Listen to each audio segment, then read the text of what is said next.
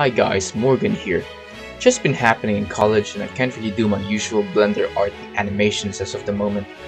I think you can tell by now how many days would pass before another livestream would happen. But I decided that as for fun, I'll be showing you my PC setup that I use to make my Blender projects. Trigger warning to those PC nerds out there, you're going to see a lot of wires and a lot of fire hazards, so bear with me here. When I look at all the Blender artists saying that they work with some high-end computer with an RTX 3090 and 60 CUDA cores and some other PC jargon that might have come from a guy who's a fan of the Thesaurus, I think, Huh? Before, when I started my channel and was working on a little stickman character that I would later name Vanilla, I was working under this old Asus laptop. I can't remember the exact model of this laptop, I can't turn it on right now because the last time I used it was two years ago, and all the documents that I had containing some information like details about specs and warranty had already been lost to time. I can only describe my experience of it as meh. Do take note that I haven't even heard of Blender at that time. I was a dumbass compared to my giant IQ right now.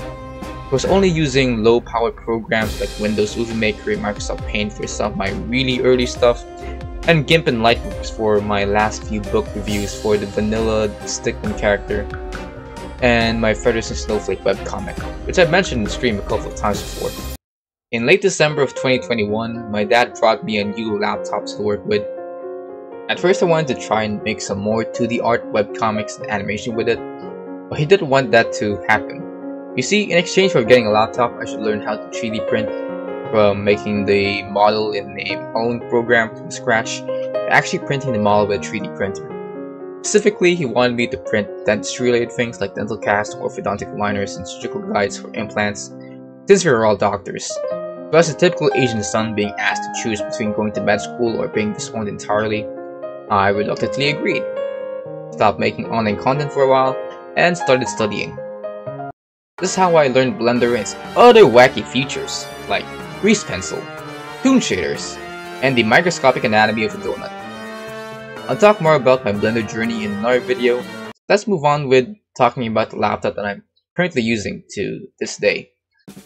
From then all the way to when I was streaming with my old snowflake model and making my college building and cake, I was only working with this piece of shit. It is a laptop made by a Chinese manufacturer named Machenike so you know that my privacy is already at risk here. But hey, it comes with an RTX 2060, a midline GPU if you consider the crisis we had back in 2020, and an Intel i7 Gen 10 chip. From what I can tell from my numerous viewings of Linus Tech Tips, I had just enough to reach Blender's recommended requirements, which isn't its minimum requirements by the way, and I have used this laptop ever since for my live streams, 3D art, online classes, and other online things a guy in his 20s would usually do. However, I realized right away that working in Blender requires a free button mouse, which I thought was one of those ergonomic mouses that might be mistaken for a sex toy, but then I realized how stupid I was for not realizing that the mouse wheel was actually the third button they were referring to. So in other words, I just need a normal mouse. I think I already replaced my mouse twice already, ever since I've gotten this new laptop, but the one I'm using right now is the Razer Viper Mini. This costs around 900 Philippine pesos in this local online store that I brought from, which is not too expensive but also not too cheap either. The reason why I didn't go for the cheaper ones because from my experience, these things only last a few weeks before a few buttons break. I'm not even a gamer that loses it whenever someone calls me sus. Okay. My god, I did not vent into North! Oh, I'm so triggered. The same goes for my keyboard as well.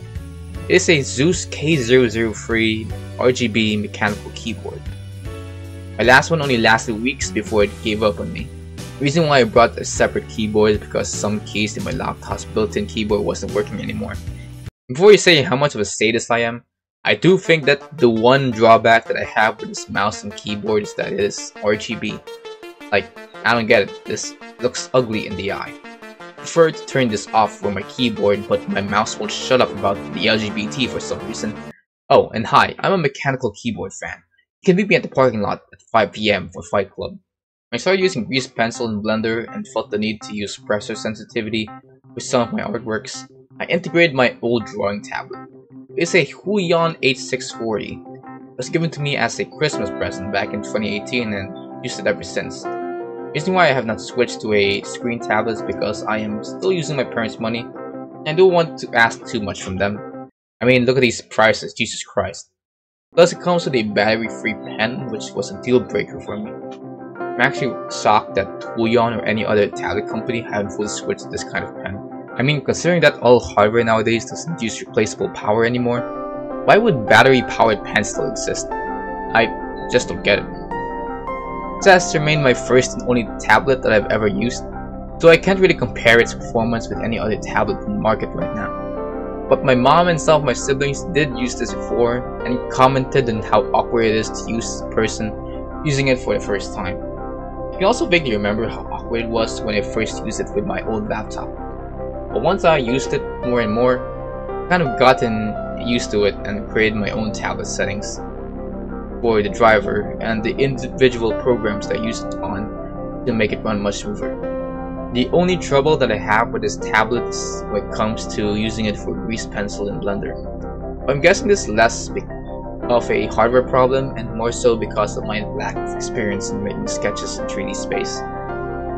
Now to those die-hard VTuber fans, I'm going to break the fourth wall right now. I'm not a wizard in this 3D realm. I'm actually the Ghost Rider. But when I stream in your plane of reality, I want to project myself as the wizard that I am in my plane of reality. So for that to happen, I use a Logitech 2K webcam latched onto my copy of Selection Day by Aravind Adiga, because I'm definitely a 6 foot beast booth with knowledge. A myth with VTubing is that people think I need some fancy pants jumpsuit with dots all over their eyes to even compete in the business, but really all I ever need in the hardware side of things is a lousy webcam that you can buy anywhere. I mean, yeah, you might need them if you want to give your audience the middle finger in virtual reality or run around an empty void. But come on guys, you really want to touch grass like these weirdos? All you need to do is sit and look pretty and you're suddenly starting a new religion. A tracking software named VSeeFace is used to turn the data coming from the camera into movement for a 3D model I made using Blender and Unity. Based on experience, the only hard part of actually doing VTuber stuff is actually creating the model itself. With breaks, it took me a year to learn how to model and rig my own character.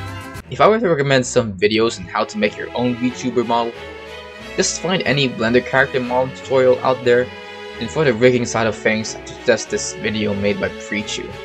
For efficiency's sake, don't forget to decrease the amount of vertices in your character by researching on topology in Blender, and to know how to start making some basic facial expressions and mouth movement, and just looking into shape keys. This video made by Safwan Shadi is an interesting introductory video on what shape keys are. What he talks about is shape keys used in animation, but the main takeaways in this video is very helpful in making your character more expressive.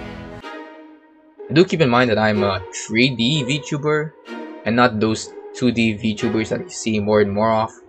So if you want to, I don't know, decrease the amount of dimensions that you have, uh, just look look for someone else. I'm not I'm not the I'm not the expert for that.